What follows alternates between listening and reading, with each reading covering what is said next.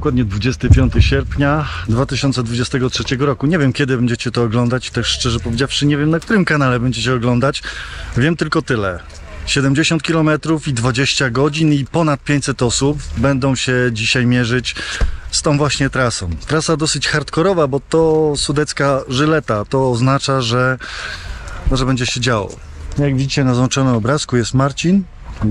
Tu jest Marcin. E, I szykujemy się powoli do zabawy.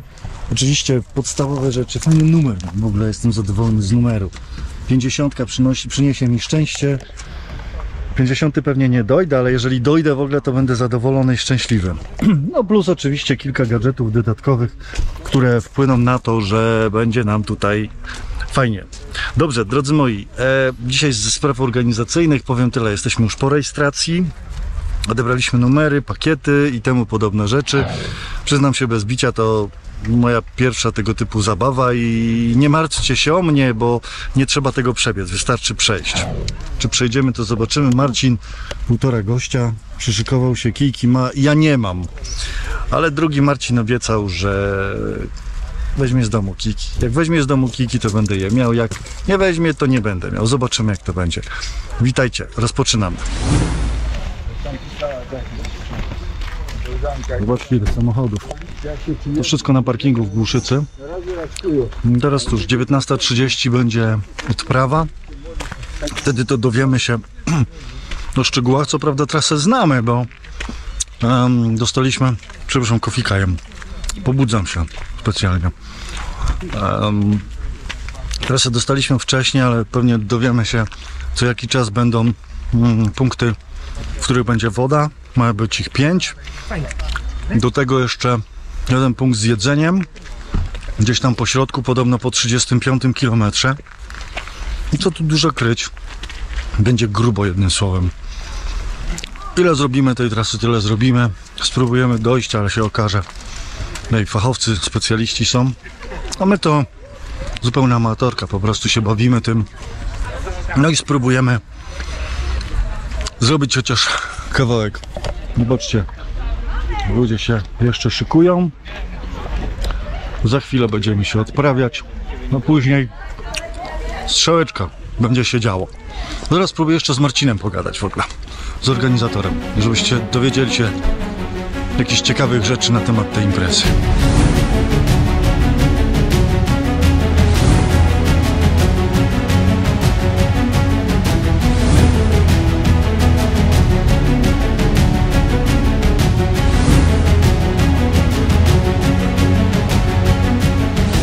Poczekaj, poczekaj, nic nie będę lądował. To jest sprawca tego całego zamieszania. Facet, który powiedział w pewnym momencie masz przyjechać. Tak, 13 ma do pierwszego, no jak na 13 ma go nie być? Musi być, co nie? No. No to Jest jestem. 13 i ma być szczęśliwa i będzie zajebiście. ona będzie szczęśliwa, No. tylko powiedz dlaczego trasa jest taka trudna. Bo musi być trudna, bo to jest sudecka żyleta, a żyleta jest ostra, co nie? No Także jesteście- szczyty są ostre i trzeba na nie wejść i Ale zejść. wy jesteście nienormalni po prostu. Bo my To znęcamy się nad ludźmi, a ludzie to kochają i nas kochają za to. Słyszeliście i wy chcecie brać udział w takich imprezach, tak? Dajcie lajka, dajcie lajka. Będzie się działo. Tak. Dzięki.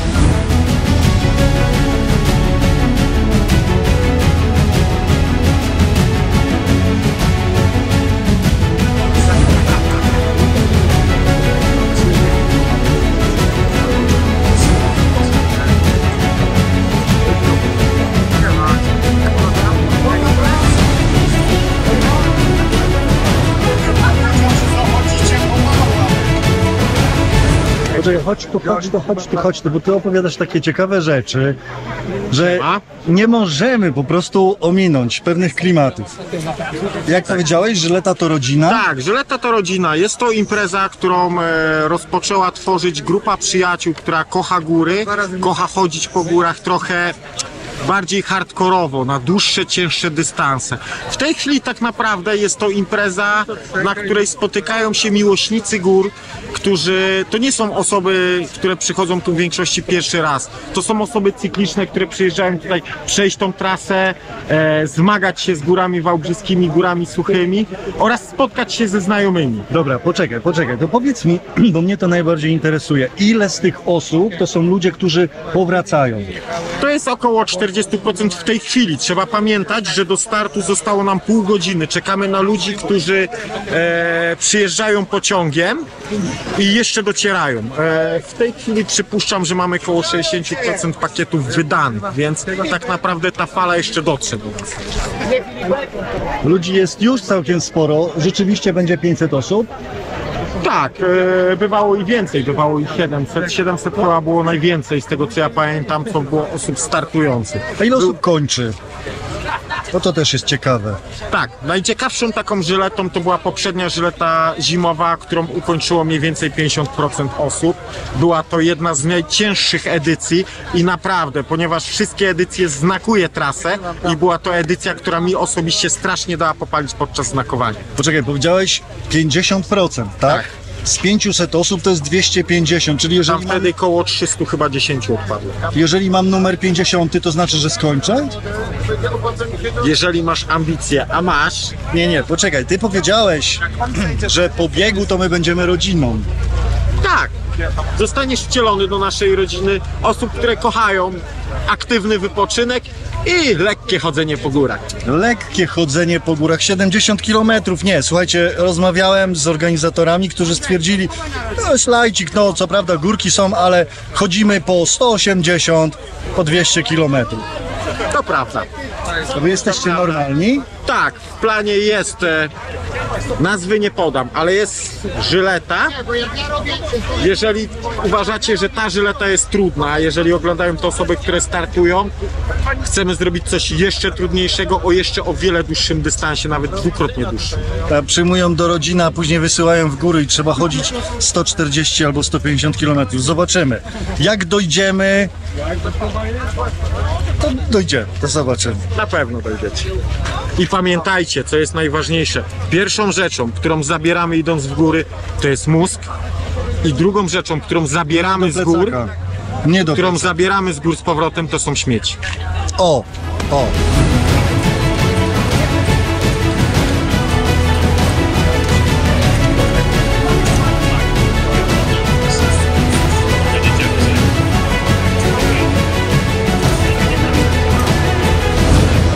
Już za chwileczkę, już za momencik. Nie piątek z pankracem, właściwie piątek w Głuszycy zacznie się kręcić, czyli będzie się działo. Zobaczcie ile tu jest ludzi. I to jest tylko jedna część, bo tak naprawdę wszyscy już czekają od tej strony. Ja tu specjalnie stanąłem, bo nie mam zamiaru się pchać do tego startu. Nie liczę, że zostaniemy jakimikolwiek liderami. Chodzi tylko o to, żeby przejść. Natomiast stąd będzie widać, e, jak wygląda start do marszu. Chciałbym przede wszystkim przypomnieć, że nie będziemy biec, tylko będziemy, będziemy iść.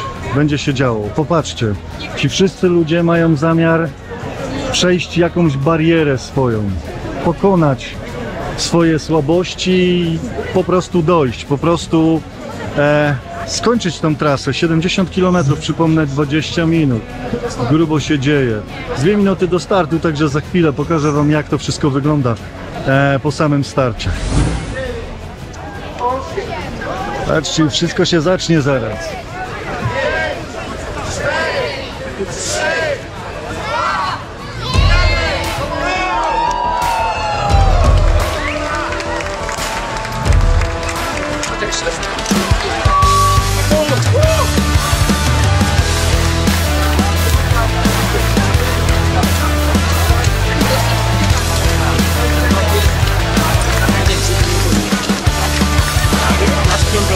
Sudecka Żyleta, zobaczcie ile ludzi. Ponad 500 osób zgłosiło się do startu. No cóż, w takim razie próbujemy, startujemy. Będziecie widzieli kolejne etapy tego, co dzieje się na tej imprezie. Nie wiadomo jak daleko, ale nie zmienia to faktu, że podejmiemy tą próbę. Spróbujemy dojść do końca trasy. Spokojnie na końcu, na razie nie spiesząc się, nie powodując, aby tempo było zbyt wysokie, żeby po prostu dojść jak najdalej. Ludzie młodzi, starsi, pod wpływem alkoholu, również bez wpływu alkoholu, ale przede wszystkim adrenalina, która powoduje, że Lepszy niż alkohol. alkohol jest, ale go nie ma. No jest lepsze niż adrenalina, jest lepsze niż alkohol. Zdecydowanie, prawda? Także bawimy się, próbujemy, no i gdzie dojdziemy, to jeszcze nie wiadomo.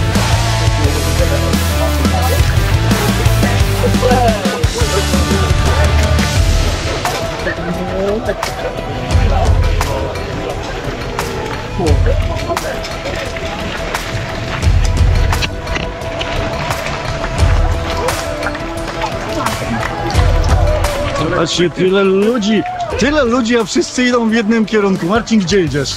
Dlaczego idziesz? za nimi. Jeszcze dobrze się wyścig nie rozpoczął. e, Wyścig mówię.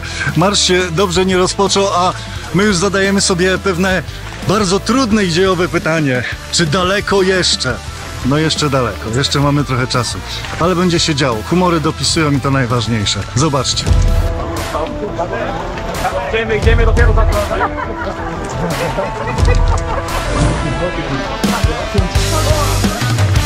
No i to jest taki fajny moment, kiedy możecie zobaczyć, jak dużo ludzi bierze udział w tym biegu, e, w tym marszu. Pewnie wielokrotnie e, wyjdzie mi dzisiaj, że będę mówił, że w biegu, ale nie przejmujcie się tym wcale. Chodzi o marsz, tu nie trzeba dobiec, tu trzeba po prostu dojść. A swoją drogą będziemy przemieszczać się e, w okolicach Rize. Będzie na pewno Soboń, będzie Osówka, e, będą, będą kamyki i kilka innych naprawdę ciekawych miejsc, które możecie obejrzeć w filmach, które już Wam dawniej prezentowałem. Mam nadzieję, że wrócicie do tego, a dzisiaj, no dzisiaj sobie pochodzimy. Jest kawał drogi. Ale nikt nie mówi, że to będzie pod górę. Jak nie, nie, nie być pod górę? Patrzcie jeszcze tam z tyłu. Na razie grupa pod wezwaniem dosyć duża. Później pewnie się trochę rozejdzie, zrobi się ciemno. Ale, ale wygląda to fajnie. Robi naprawdę wrażenie, bo i teren jest fajny, a przy okazji jeszcze jest jasno. Później będzie ciemniej, także też dużo więcej się będzie działo.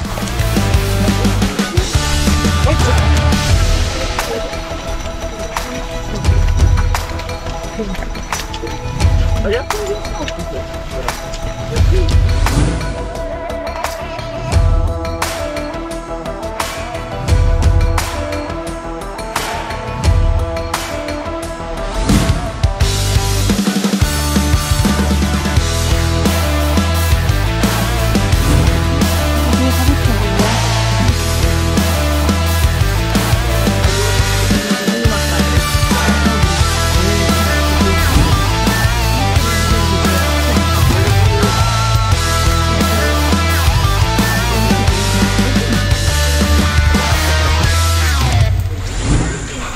Oj, będzie to prawdopodobnie po ciemku, ale nic to, drodzy moi, w tej chwili jesteśmy na wysokości e, góry Soboń.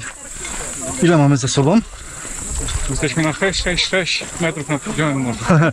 666, czyli w tym miejscu zacznie nas za chwilę straszyć, strzygi i temu podobne. Natomiast po mojej lewej stronie przepompownia, po prawej stronie e, jest sztolnia numer 4. Trójka jest z tyłu, wy mnie nie widzicie, ale słyszycie za to. No i jedynka oczywiście jest gdzieś tam, z tamtej strony. I tak mnie nie było widać. Drodzy moi, no mamy początek. Ile mamy? 2 km. Dopiero? Przeszliśmy już 2 km, a to jest ile? 30 minut. Także tempo jest całkiem niezłe. Będzie może widać. Zaczyna trochę padać, ale naprawdę jest fajnie, jest ciepło, bardzo ciepło. Mam nadzieję, że temperatura jeszcze spadnie przynajmniej jakieś 4-5 stopni, to będzie dużo przyjemniej. Lecimy dalej, nie poddajemy się. To wygląda na to, że jesteśmy w okolicach Włodarza. Kolejny ciekawy obiekt wchodzący w skład systemu RIZE, kompleksu RIZE właściwie.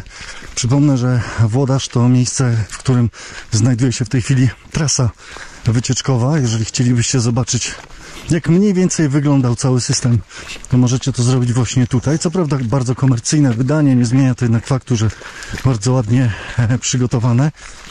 E, No i przy okazji tu jest kilka bardzo ciekawych w terenie obiektów. Między innymi mówię na przykład o e, betoniarni, a właściwie miejscu, gdzie stały mm, betoniarki, na, których tworzony był beton, e, który wędro- wędrował prosto do sztolni. Ciężko się tak mówi, idąc tempo dosyć wysokie w gruncie rzeczy.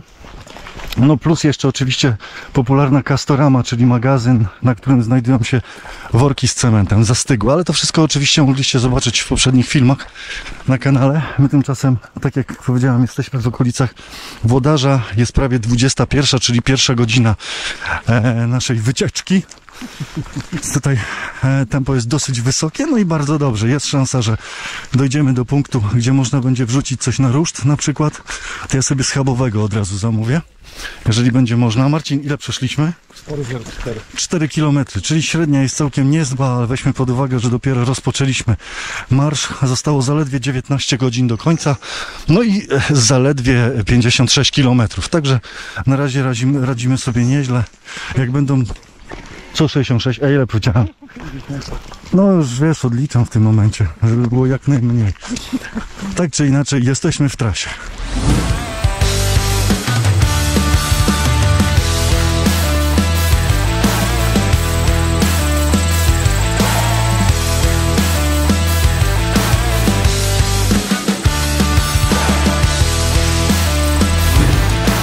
Marcin, czy mamy jakieś statystyki? 8.86. Która godzina? 21.52, czyli e, godzina 52 już za nami. Dochodzimy w okolice Jedliny, do pałacu w Jedlince. No jak na razie forma? Super. Dopisuję. No ten odcinek akurat trochę wyłamuje nogi, szczerze powiedziawszy, bo idziemy po takiej szutrowej drodze, jest tu sporo kamieni. No i gdzie nigdzie zdarza się trafić na kamień, wygiąć trochę kostkę, ale nie jest źle. O, tu dochodzimy do bruku.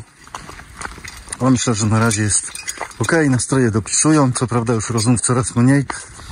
E, tak naprawdę cała grupa podzieliła nam się już na drobniejsze grupki, które prawdopodobnie będą się w tym momencie e, klarować. No i generalnie jest fajnie. Jeszcze sobie radzimy, nie? Jest super. Cicho. Jest super. Jest super, naprawdę. Bawimy się świetnie. No dobra, drodzy moi. Chwila, e, taka mała możliwość, aby cokolwiek nagrać. Spróbuję nawet wyłączyć. O, udało się. Jesteśmy w Jedlinie Zdrój. Pierwsze 10 km za nami. Czas dokładnie 2 godziny 15 minut, także jest nieźle. Idziemy do pierwszego wodopoju, który już za moment dosłownie. No jak to Marcin stwierdził, słabo to brzmi, bo mamy zaliczone dopiero jedną siódmą trasy.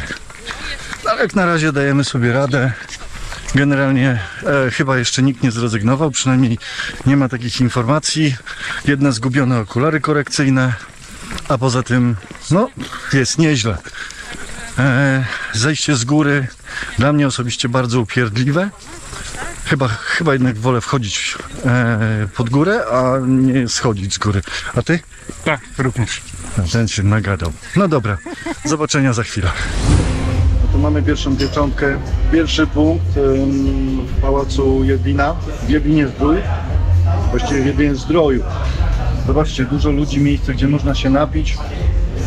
Można zjeść dobrego wafelka. No i chwilę od, odpocząć. To jedna siódma trasy, także do końca zostało jeszcze naprawdę wiele, natomiast cieszę się, że już zrobiliśmy chociaż taki kawałek. Teraz powoli em, wciągniemy to, co mamy wciągnąć, uzupełnimy zapasy wody, no i będzie ciąg dalszy. Mamy prawie 3 godziny, bo tu trochę zeszło. Dokładnie 22.09. Przypomnę, Jedlina Zdrój. Tu jesteśmy, tu na razie. Przez kilka najbliższych momentów będziemy oddychać, odpoczywać, a później lecimy dalej. Tutaj zdobyliśmy też pierwszą pieczątkę, tak zwany checkpoint. Także do boju. Ciąg dalszy nastąpi.